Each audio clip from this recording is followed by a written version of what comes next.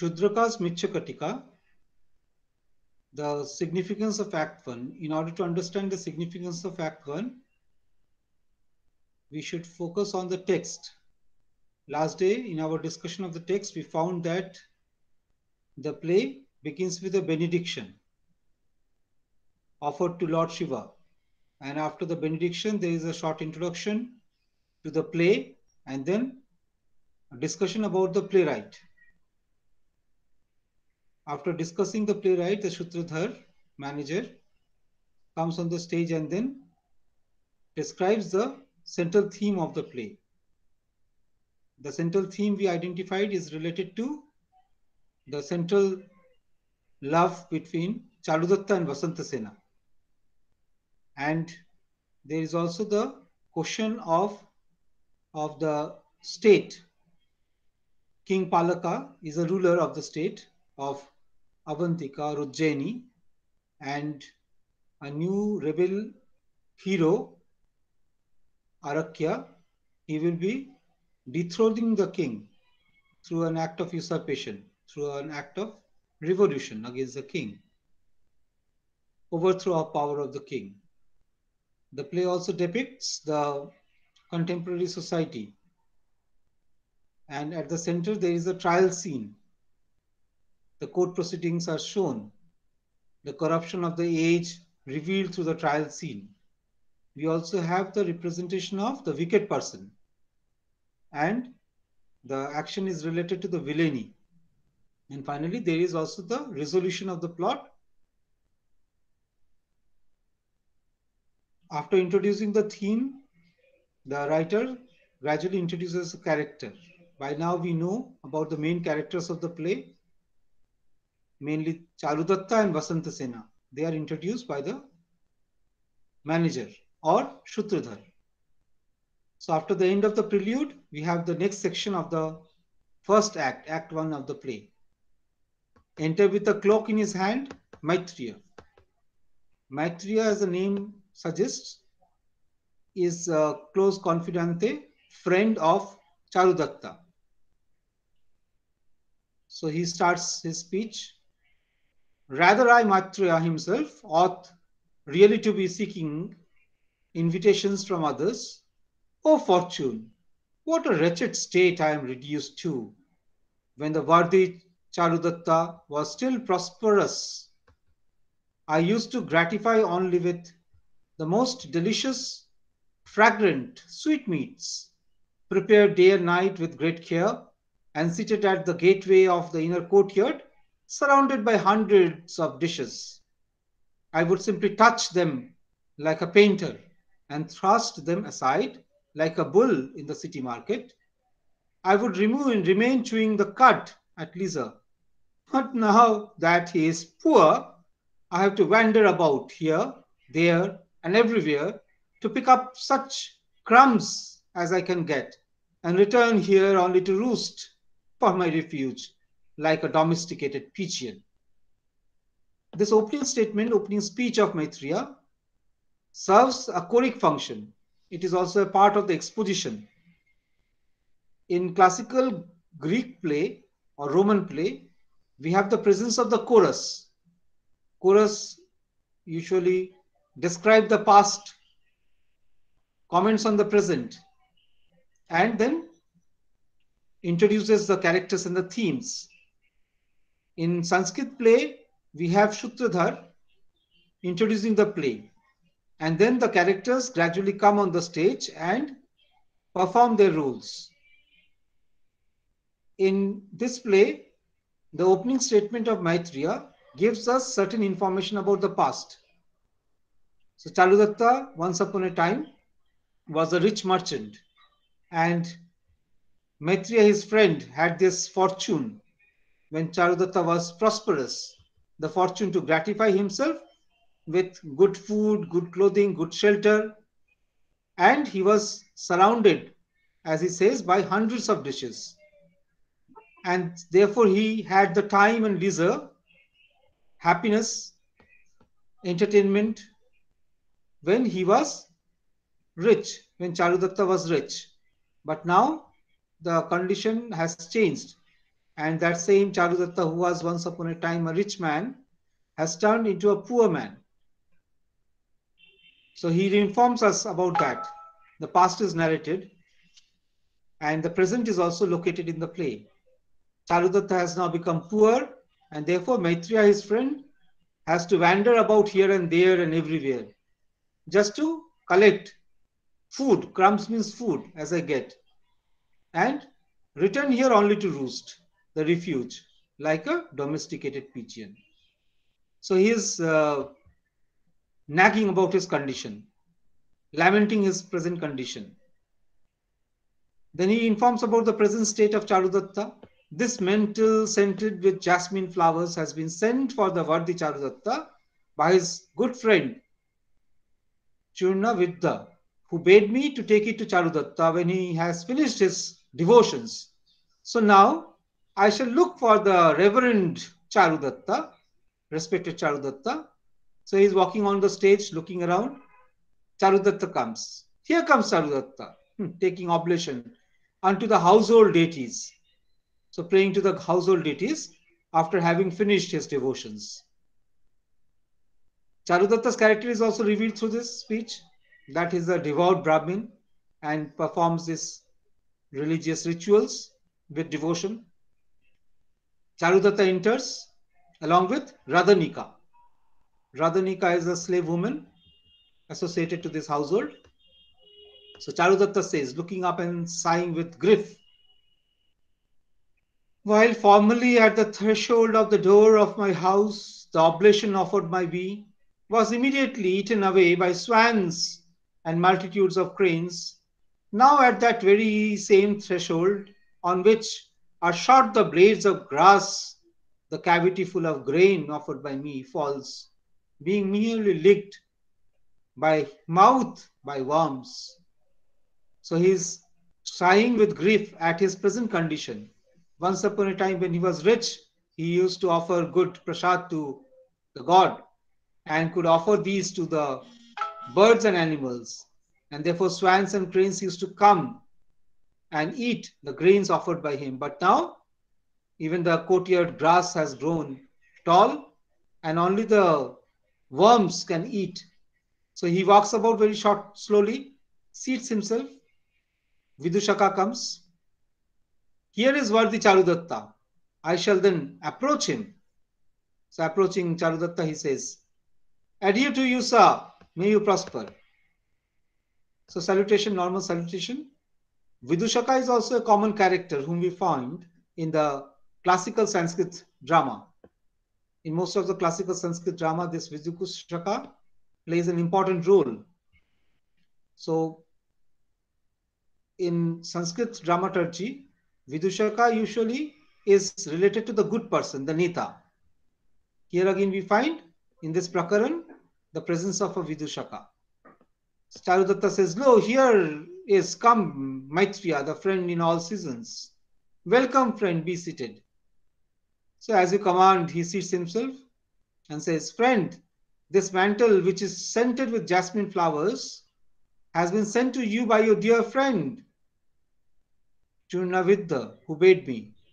So this Vidushaka's role played by character Maitreya, friend, and he offers the flower. This is to be presented to you to the worthy Charudatta when he has finished his worship to the gods. Presents the mantle so we find that Charudatta is much respect and reverend among the friends also. So he receives it and remains thoughtful. Vidushaka says, Well, what are you thinking about? Charudatta says, Friend, verily, happiness appears to advantage after one has undergone miseries. So our suffering can be best understood when one has passed through a stage of happiness. Similarly, happiness can should have, can be best understood when one has spent his days in miseries. The present state of Charudatta is a state of misery. And in this state of misery, he can understand the advantages of happiness. In such, in much the same way as the sight of a lamp amidst thick darkness. So the lamp and the darkness, these are contrasted. There is this employment of alankara. Alankara in classical poetic theory refers to the use of figurative language. In Mrichchhakatika, we find extensive use of alamkara. Alamkara, if we translate that into English, it becomes figurative language, figures of speech. So here we have the combination of the Sanskrit alamkara in order to represent the thought process. So in case of a metaphor or simile, we have an implied or explicit comparison between two objects, two things. Here also we find the comparison is made between two ideas. First is that when one has been undergoing a state of misery, for that person, the image of happiness appears to be much cherished, favorable. In the same way, like the sight of a lamp when someone is in a state of darkness. So darkness is compared to misery, while lamp or light is compared to human happiness. On the other hand, that man who falls from affluence to penury, affluence means rich, and penury means misery, poverty. So one man who falls from affluence to penury is one who is really dead and exists only as being supported by a body. So without that, there is no happiness. And one who has turned into abject poverty can only understand the importance of happiness and riches. Vidushaka says, friend, what will you prefer? Then death or poverty? Which one is more preferred by you? Death or poverty? Charudatta says, ah, my friend, between poverty and death, certainly shall death be agreeable to me and not poverty. Death is only a transient suffering of short duration, while poverty is an endless misery. So these thoughts come from Charudatta's mind. So his mind is in a state of gloom, perpetual gloom, sorrow. So he regards death as an escape from this endless misery of life because of his abject poverty. Vidushaka, his friend, always remains very close. He's a friend of all seasons. Even in his poverty, Charudatta has the company of Vidushaka. He says, My dear friend, enough of your repentance. In the case of you, whose riches is only transferred on to the needy people, even the very ruin of wealth wins an added charm, as in the case of the moon reduced to the slender fragment after having been drunk by the gods. So again, we have the use of alamkara. Charudatta is a person who is much charitable. So even in this state of poverty, Charudatta has this propensity to give gifts to his friends, known person. So whatever he has, he gives to others. So this character of Charudatta has been compared to the moon. So moon has seen its full moon or the glorious days. And gradually what the moon does, moon wanes and is reduced to a crescent shape and finally to new moon. And this is compared to the process of, of drinking the moon by the gods. So this abstract imaginative metaphor has been used here. The imagery is very interesting. So Alamkara is supported by uh, descriptive power of the poet, and that has the power of imagery. Charudatta says, My good friend, I do not grieve for my ruined wealth. Look, it is this alone that afflicts me, that my guests abandon my house because of its wealth having vanished, just like the fluttering bees that abandon the temples of an elephant, the season being over, when the dense rut thereon had been dried up. So, what is this lamentation? The main cause is that being poor, he cannot offer any charitable gift to others. And because of this absence of any kind of gift, any uh, wealth, even the people who used to come and flock to his house, they go missing. They are not coming to his house And this is compared again with the help of an alamkara, a metaphor. This state is compared to the beehive that is abandoned. Okay, beehive that is abandoned, just like the fluttering bees that abandon the temple of an elephant, the season being over. When the dense rut thereon had been dried up. Okay, when the beehive has become dried, the bees leave. Even the temples are bereft of the bees. Vidushaka says, O friend, confound these riches, which are but merely morning meals, trifling. So, what are riches? Riches come and go, they are just triflings. They are just triflings, like. Like is used as a simile to compare one thing to another. Like cowboys in a wood that are afraid of wasps. These riches resort only to places where nobody has a bite at them.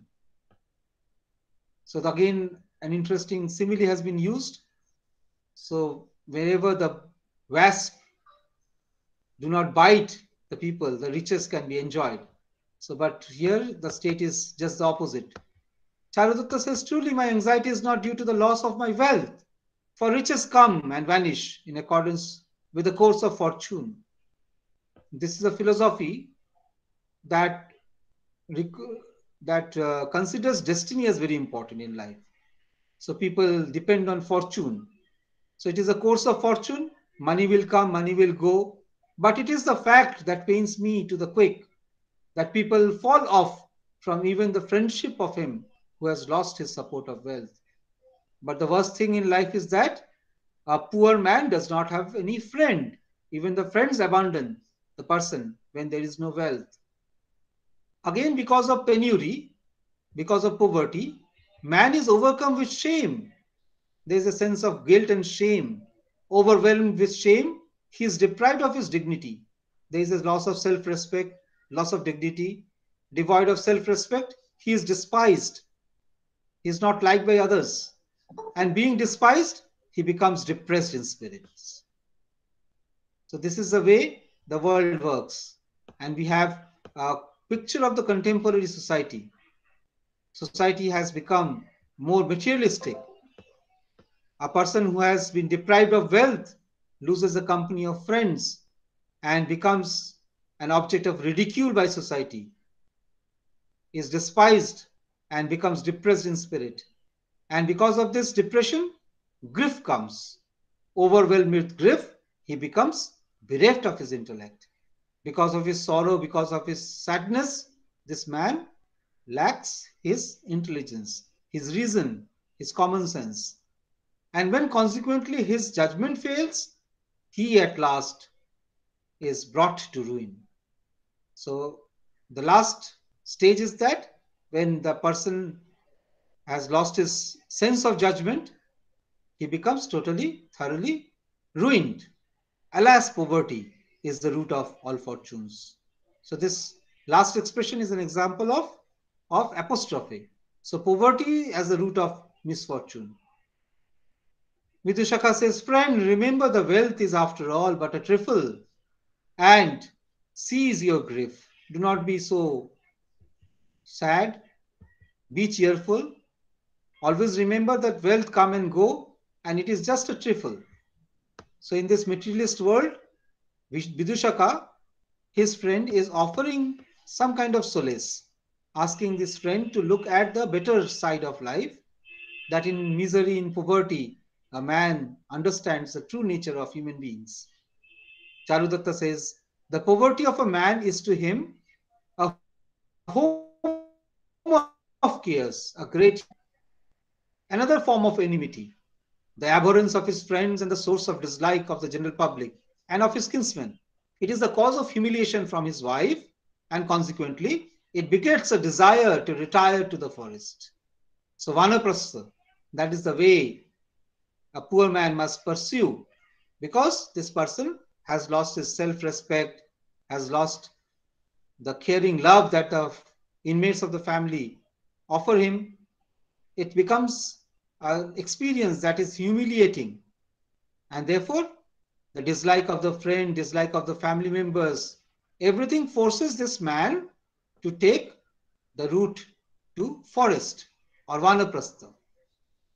And the fire of grief in the heart that is dormant does not burn, but is constantly tormenting.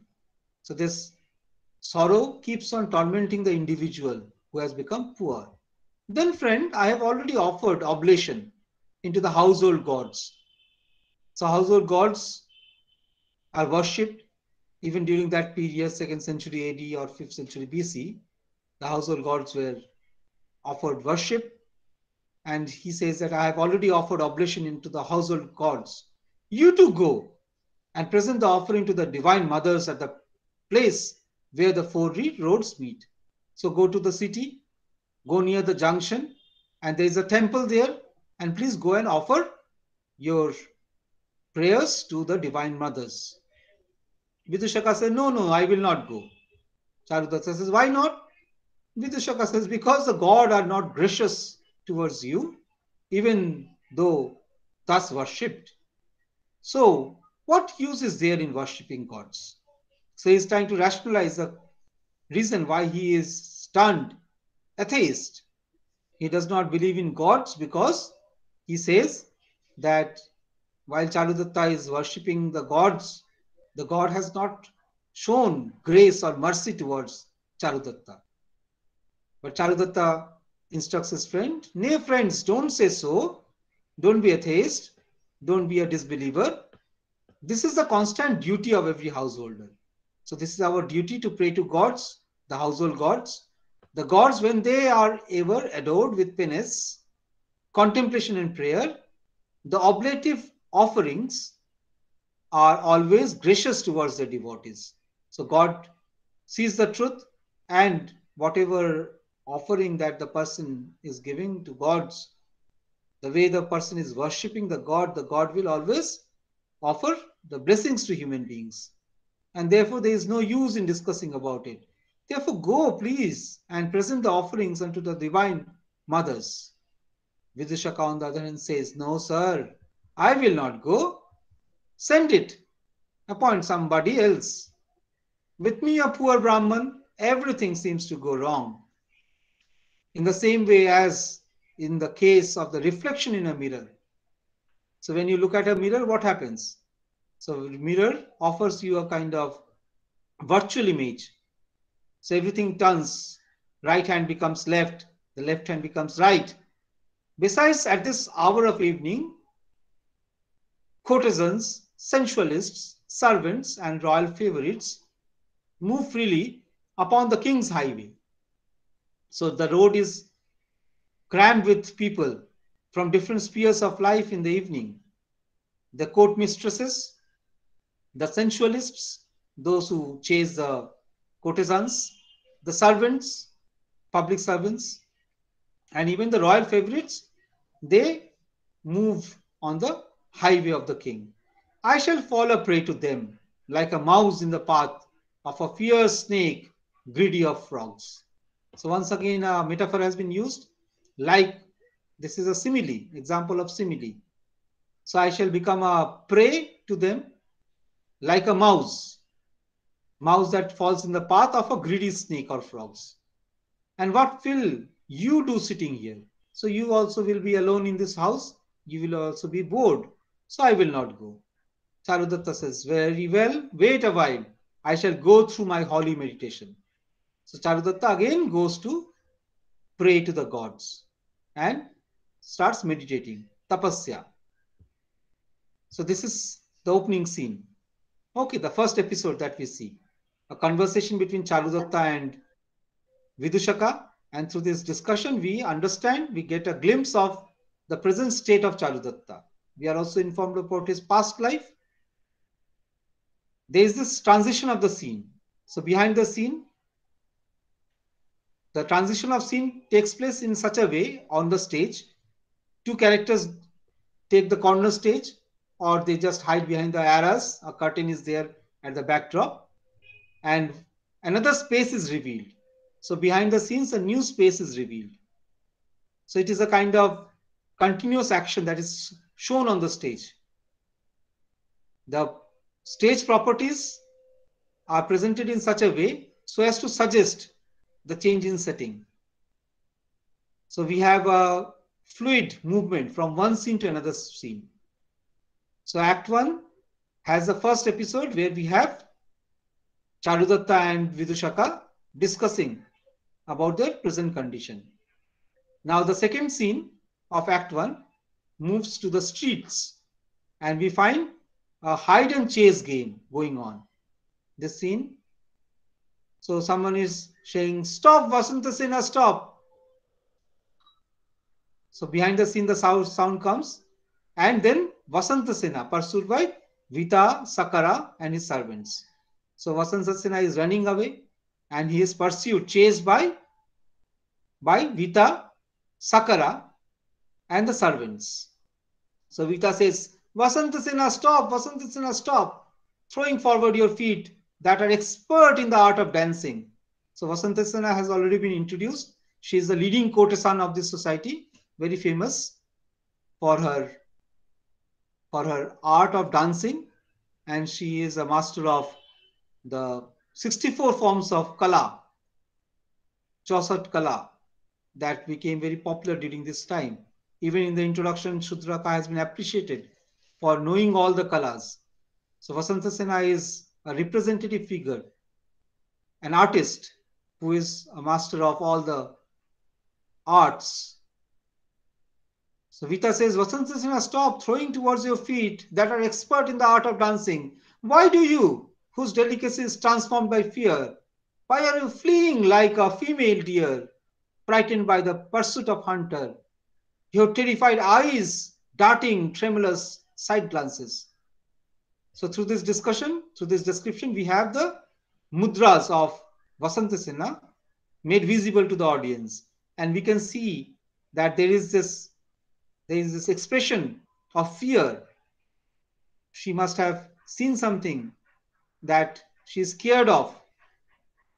Some persons are chasing her. And Vasanta Sena in this scene is dressed like a courtesan, full of jewels on her body. So Sakara, Sakara is the son of son-in-law, sorry, brother-in-law of the king, Palaka. Sakara says, Stop, Vasanta Sena, stop. Why do you flee? Why do you run? Why do you retreat, stumbling at every step? Oh, young maiden, be kind. You shall not die. Stop, stop, please. My heart, oh sweet lady, is burning with love like a piece of meat that has fallen into a heap of blazing coals. So his love, as expressed by Sakara, is a love that can be compared to a piece of meat that is burning in the heap of blazing coal. What type of love is this? This is a material love. This is a love that is corrupt and based on lust. So this lusty Sakara is pursuing Vasanta Sena, chasing her, and Vasantina is trying to escape Sakara. Cheta says, Stop, worthy lady, stop. In terror, you flee away from me like a peahen, like a peahen in summer, with a tail in full feather. But my lord and master is leaping after you like a young cock in the wood. So, double simile. So, she's escaping like a peahen in summer, full of feather, in full feather means dressed like a beautiful peahen and then he refers to the master master is leaping you like a young cock in the wood so this man is chasing the female. Vita says vasanta sena stay stay. Why do you run away trembling like the young plantain tree banana tree trailing after you? Your red garment whose skirt is moving in the wind and throwing now and again multitudes of buds of red lotuses, thereby resembling the cave of red arsenic, shattered by the axe. So you are so beautiful, your dress is red in color, and you are moving, you're running away. So you remember like the multitudes of red lotuses. You must have seen red lotus and the petals of red lotus. And here Vasanta Sena's dress is compared to that by Vita. Sakara says, Stop, Vasantasena, stop. You inflame my passion, my desire, my love, and at night you deprive me of my sleep in bed. But now you fly in terror from me, stumbling at every step. So Sakara has fallen in love with Vasanta Sena. She, he is charmed by the beauty and is chasing her.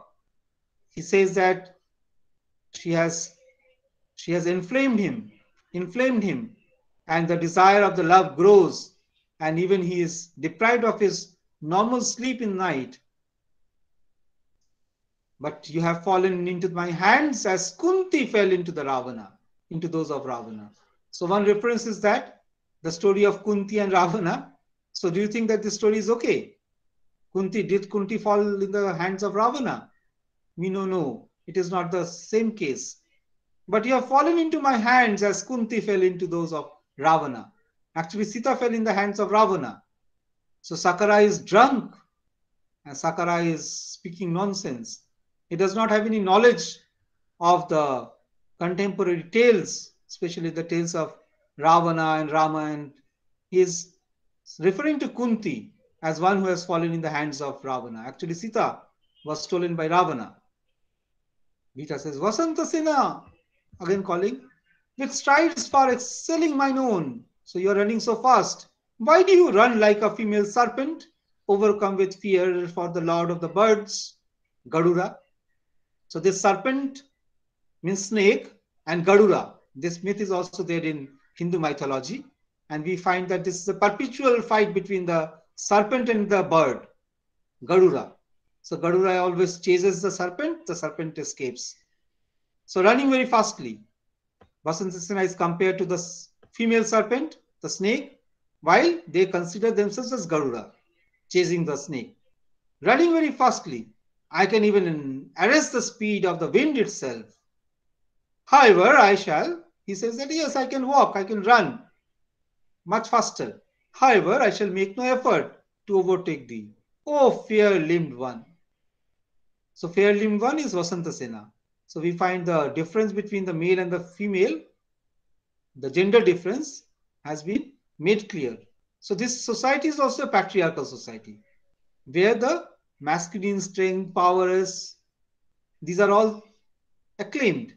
And then the female is converted, is stated to be a passive being, more a feminine being, weak person. Sakara says, Friend, friend, she is a whip to lust of the stealers of coin. She is fish eater, figurante of snub house, destroyer of family, untamable casket of love, courtesan, respectable of good ornaments, harlot, prostitute, and concubine. So these are the curses he's stating. So the words that are there describing Vasanta Sena, these are derogatory and make Vasanta Sena as a time pleaser, a person who uses her art, her beauty, her charms in order to in order to attract men and in that way destroy the family and with her casket of love she is more fond of fond of ornaments. So she is simply a prostitute and a harlot and a concubine. I have invoked her by these 10 names and still she does not love me. So Sakara says that I have appealed to this Vasanta Sena with so many good names. According to him, these are good names. But yet she is not reciprocating his love. So he's uh, like our modern day villains chasing the heroines. So Sakara is chasing the heroine. Vita says, like a female crane starting away from the thunder of clouds. Why should you flee from us? Why are you escaping from us? Overcome with your fear. Your cheeks are being rubbed by the tossing earrings so that you resemble the lute struck by the nails of Vitas. Sakara says, Why? Why do you run like Draupadi, afraid of Rama? See the joke? So why are you running like Draupadi afraid of Rama? So two epics are brought together. Draupadi is a character from the Mahabharata. So we re remember the Mahabharata episode where Draupadi is disrobed by the Kauravas in the court. So here Draupadi is being chased by Rama while your various ornaments make a jingling and a tinkling noise. So such uh, a society was that, very permissive society, where the epical heroes and heroines, they could be easily uh, represented in new ways and in concocted plots. Sakara is a man of little learning and then and definitely he's a dangerous man. And he has a very little knowledge about the classical Sanskrit epics. He confuses. Previously, we saw that Ravana is snatching Kunti away. Now we find that Draupadi is being chased by Rama. Here shall I seize you quickly, as Hanuman sees Subhadra, the sister of Visvasu. So where is the story? There is no story like this. Hanumana, we know, appointed by Rama, he was a follower, disciple of Rama, went to Lanka in order to rescue Sita. But here Hanumana is seizing Subhadra. So Sita says, sport him, sport with him, who is beloved of the king. So he's asking Vasantasena to sport with this person. Sakara. Sakara is the brother-in-law of king Palaka. Therefore, very powerful man in society. So he is trying to, Cheta is trying to say, sport with him who is beloved of the king, and you shall eat flesh and fish. So you will have wealth, riches, if you can accept the proposals, the indecent proposals of Sakara when they can get fish and flesh, dogs do not prey upon carrion. Even the dogs, when they get good fish, good flesh, they do not be, uh, remain scavengers chasing the dead bodies. So he is offering Cheta, another servant of Sakara, is offering temptations to Vasantasena. So Vasantasena is tempted by the lure of wealth of Sakara. He is being, she is being tempted by the power, the wealth, the privileges. Vita says, Worthy Vasantasena, oh wonderful, why do you advance in terror and amazement, looking like the guardian goddess of the city, as if wear a girdle resting on your slender waist and glittering with star-like gems, and also have a pale countenance like a rubbed powder of red arsenic. Beautiful description, evocative description also makes us aware of the jewels that Vasantasena is putting on. Sakara says, hotly pursued by us as is the female jackal by hounds in a forest. So is this female jackal? Vasantasena is this female jackal. And who are the hounds?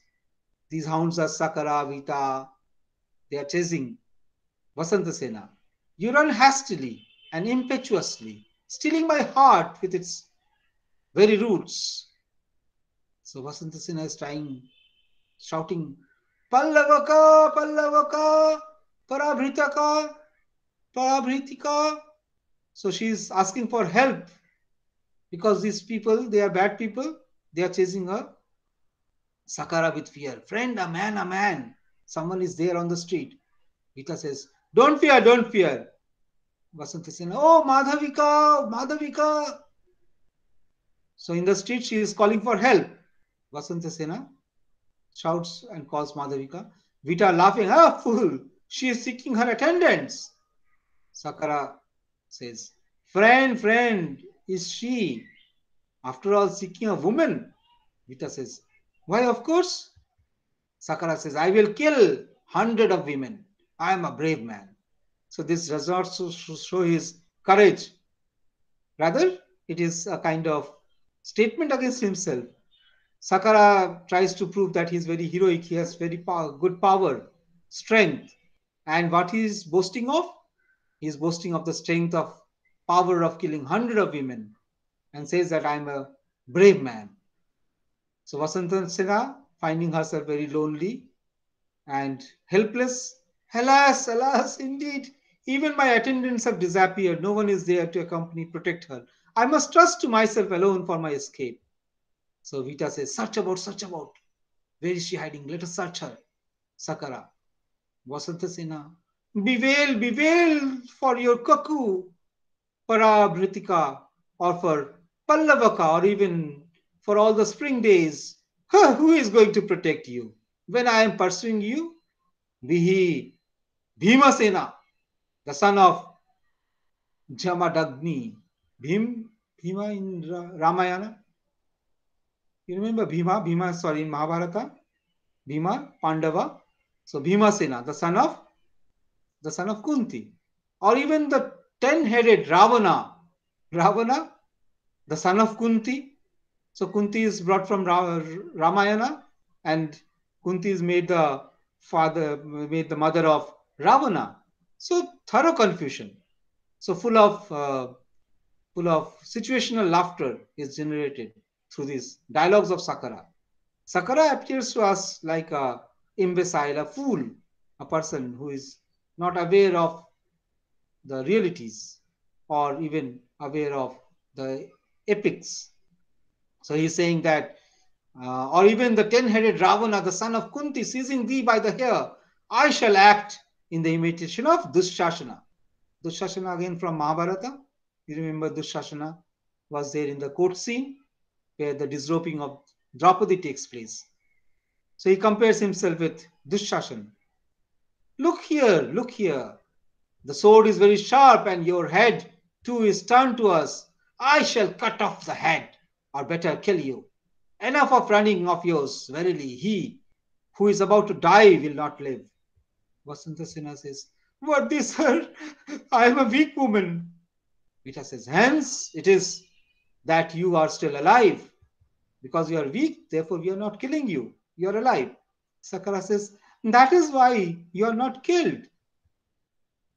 Vasantasena aside, Oh, even his courtesy appalls me. Very well, let it be so. So she says aloud, Sir, do you seek my ornament from me? Do you want this ornament that I am putting on?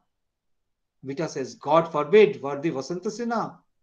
The creeper of a pleasure garden does not deserve to be robbed of its blossoms. Therefore, speak no more about your ornaments. Vasantasena asks, Then what? What is all this about? Sakara says, I'm an excellent personage, a regular Vasudeva, and you must love me. So I am an embodiment of love, Vasudeva, or Kamadeva. I am the embodiment of love, and you should reciprocate my love. He even compares himself to Krishna and appeals to um, Vasantasena that he is uh, beloved. Vasantasena becomes very angry. Hush! So see how Sringar Rasa is now being turned and new type of rasa related to excitement, amazement, disgust. Okay. So Veer Rasa is also presented in a new way. Vasanta Sena indignantly. So Krodh, Raudra Rasa. Hush! Get you gun! You talk what is base and unworthy. So I do not want to hear your words. Whatever you are saying is bad. Odious. Sakara clapping his hand and laughing. Friend, friend, just see a while. This courtesan lady is very affectionate towards me, inasmuch as she says to me, Come, you are weary, you are fatigued. No, no, I have not been going astray. In any village or town, worthy lady, I swear by my friend's head and by my own feet.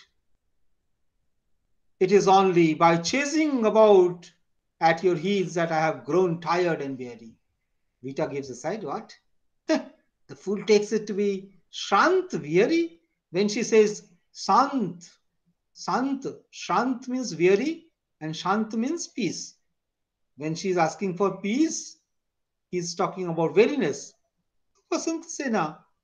So he speaks aloud. Vasanta Sena, you say something that is inconsistent with the living of a courtesan.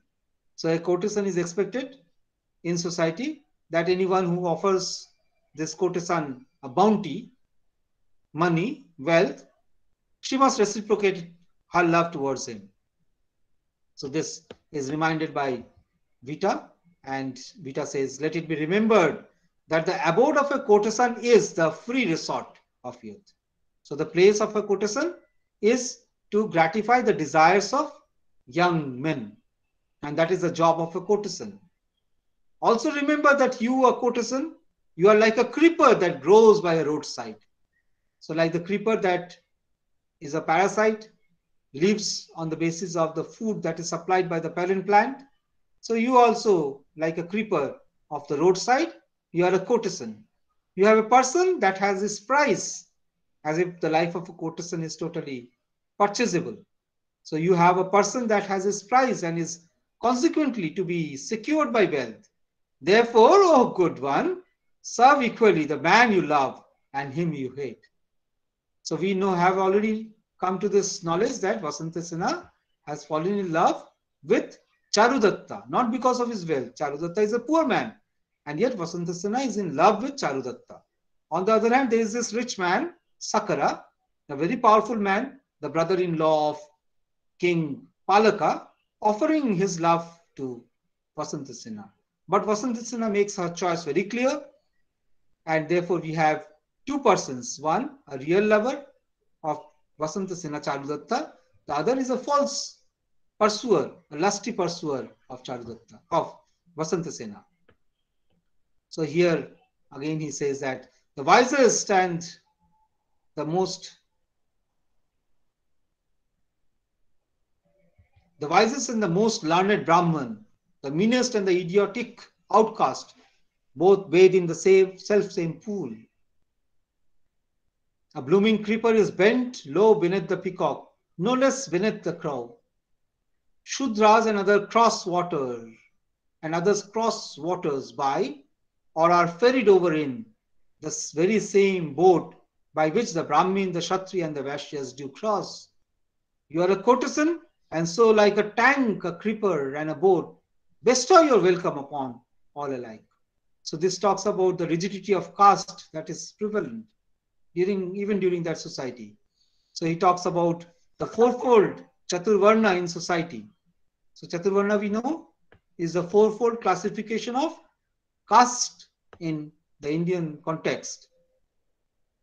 So Brahman, Kshatriya and Vaishyas, they all travel by the same boat as a Shudra does. So you are a courtesan. So you are like that boat.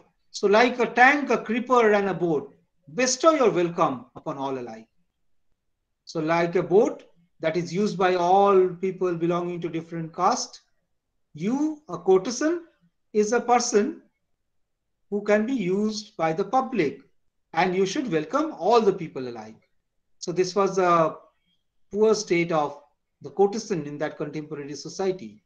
As was as I was going through the history of Ujjain, I found that Ujjain was a city, so of uh, second century AD, where this court culture and the courtier culture and the courtesan culture all went hand in glove. We have this the prostitutes who are working for the gratification of male desire. And this institution remained, this is an age-old institution that has always considered the female as an object of desire and has relegated the female to the margins. Even in the temples, we have the tradition of the Devadasis, and these Devdasis were all regarded as the dasis of God, but actually they were treated as prostitutes, as public property, mainly enjoyed by the priestly class. Vasantasena says, Verily, merit alone inspires love and not violence. See the interesting comment, the concept of love.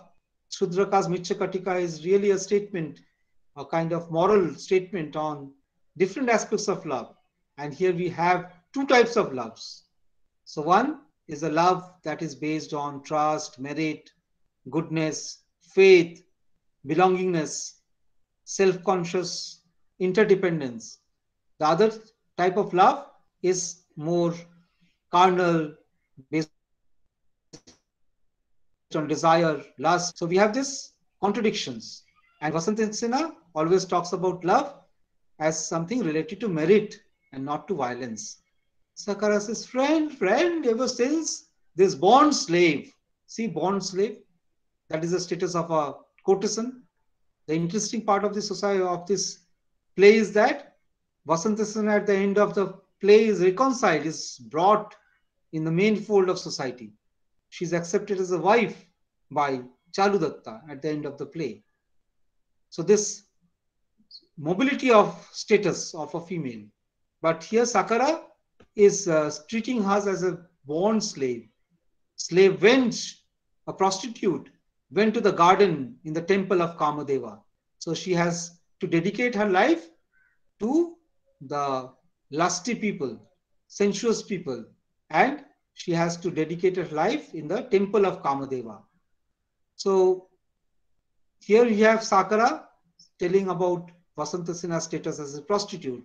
She is in love with Charudatta, that penniless wretch, and she does not love me. His house is to the left. Let my friend act in such a way that she does slip from our hand. So we must catch her. We must see that she does not slip from our hand. So Vita gives a side. This fool speaks out that very thing that ought to be concealed. So even Vita is shown as more intelligent than Sakara, although Vita is a servant. So this servant is more clever than the master. And he says that this fool Sakara speaks out what should be concealed. What? Vasantasena is attached to Vardi Charudatta. It is indeed rightly said that the gem suits with a gem. Therefore, let her go. I have had enough of this fool. So Vita also says that yes, she deserves Charudatta better than this man. This man is a fool. But he also plays dual role because he is a servant and much afraid of Sakara. So aloud he says, Oh, son of an unmarried woman, is the house of that famous merchant on our left? Sakara says, Exactly so. His house is on the left. Vasantasena gives an aside. Oh, wonderful. If it is true that his house is to the left, I am really obliged by his wicked fellow in every act of injuring me in as much as he has enabled me to meet my beloved. So Charudatta house is located very nearby and Vasantasena comes to know about it through this conversation between Sakara and Vita. And she finds a kind of refuge in the house of Charudatta. And we will soon find her sliding through the doors of Charudatta and entering into the house of Charudatta. Sakara says, Friend, friend, in this pitchy darkness, where while she is visible yet, Vasantasena has really escaped like a grain of soot in the heap of black beans. Vita says, Oh, it is pitch dark. Indeed, indeed, I cannot see. My keen eyesight is obstructed by the guard by the sudden entrance of gloom. On what account of darkness my eyes, even though opened, are as it were really closed. I cannot see. Darkness annoys, as it were, the limbs of the body, the heavens, showers as it were, black collyrium, and my eyesight has become unprofitable, like the service rendered to the worthless man. So it is thick of darkness. In this darkness, he cannot see anything. And Vasantasena has slipped into the house of Charudatta. Sakara says, Friend, friend, I am looking for Vasantasena. O son of an unmarried woman, is there anything of which you can trace her? Sakara says, Friend, like what, for instance? Say, for example, the tinkling of her ornaments, we can hear that. For instance, or that the fragrance of her garland blended with her perfumes. Sakara says, I hear the fragrance of her garlands. See the joke? I hear not the tinkling of her ornaments, but I hear the fragrance of her garland. Can you ever hear the fragrance of the garland? And my nose is still with darkness. My nose is totally filled with darkness. I cannot clearly see the tinkling of her ornament. So this type of joke is, so whatever Sakara says is highly ludicrous, ridiculous. And even when the tragic scene is going on, a game of love and chase is going on, he's a lusty man following, pursuing Vasantasena. His dialogues are very funny. So he is an embodiment of that clown character. Okay, full of hasya rasa. And whatever he sees, he as a prakaran, this is an inventive play, and we often find that the characters characters engage the audience through these entertaining dialogues. So we have Vita, Vasantasena, Vasantasena, I said was true is that you not visible amidst the darkness of the nightfall, like the lightning hidden in the union of the interior clouds, and yet the fragrance of your garlands, as well as the tinkling of your anklets, O time one will betray you. Have you heard me, Vasantasena? So Vasantasena speaking to herself, heard and comprehended too. So she's removing her anklet, pulling off her garland. walking a few steps and feeling by the hand. Lo, here do I feel the wall of the house, and here is a side entrance. I understand also by the tactual, factual perception. Tactual means touch perception, as my fingers tell me that this entrance of the house is closed. So we have again the shift of scene where we have Charudatta. So we keep up to this. So we have uh, entertained ourselves with a fascinating play, full of action, full of uh, interesting sequence of events. So any question regarding this portion of the text that we have read today? So as I was I was reading the play, I felt that this play contains all the populist elements that a masala movie nowadays masala movies have. And the, of course, Mircha has been adapted variously.